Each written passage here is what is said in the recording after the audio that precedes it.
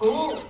देवेंद्र असा घडी बिडी घालून जायचा आणि गॉर्मेंट लावायचं. हे सगळं होऊ शकलं. हे इतकं सहज नव्हतं शिवधनुष्य. हसत हसत सांगतात हे शिवधनुष्य आम्ही पेलू शकलो. कारण हे सगळं जे झालं त्याची सगळ्यात मोठे जे कलाकार दिग्दर्शक आणि सूत्रधार होते ते देवेंद्र फडणवीस होते स्वतः कबुली जबाब देतात वाटत नाही काही सुद्धा. आणि कबुली जबाब देताना ते सांगतात की हे सगळं देवेंद्रजींमुळे रात्रीच्या अंधारात भेटत होतो. वेषांतर करून. अंधारात भेटायची त्यांनाच भीती वाटते. अंधारात पाप घडते. उजेडात सत्य असते. तुम्ही रात्रीच्या अंधारात खलकारस्थान करत होता कारण तुमच्या पोटात पाप होत. दोन आमदार आणि दोन खासदार म्हणजे कमी ताकद नसते. जर तुम्हाला उद्धव साहेबांचं पटलं नव्हतं तर यायचं कोल्हापूरच्या बिंदू चौकामध्ये. यायचं शाहू स्मारकमध्ये बोलवायचे सगळे शिवसैनिकांनी सगळ्यांना बोलायचं की हे मला पटत नाहीये रे घेतोय हा निर्णय मी. काय ठामपणे बोलायची हिंमत झाली नाही. का तुम्हाला पळून जावं लागलं? का तुम्हाला ब्लॅक कमांडोज घेऊन जावे लागले? कारण तुम्ही घाबरला होता तुम्ही कपटी होता तुम्ही चुकीचे होता तुम्ही कटकारस्थानाचा भाग झालेले होता पण तुम्ही तिथपर्यंत गेला काय पद्धतीनं राजकारण? आणि बरोबर आम्ही वेषांतर करून जात होतो. मग आमच्या अमृतावळीने नाही बोलल्या तरच नवल भाऊजे. आणि तुम्हाला सांगू का ननद भावजयांचं भांडण आमच्या गावाकडे चांगले लोक गीतात सांगतात.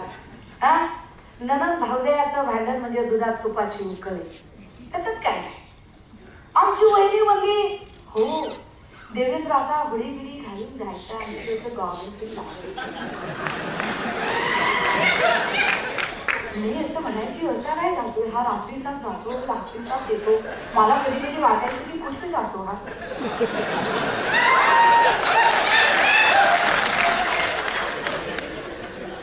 मी बोलले का म्हणाल? दादा हो सगळं पत्रकार आहात तुम्ही. मी बोलले का म्हणाल? हे बोलले तुम्ही त्या. आणि काहीच बोलत नाही दादा.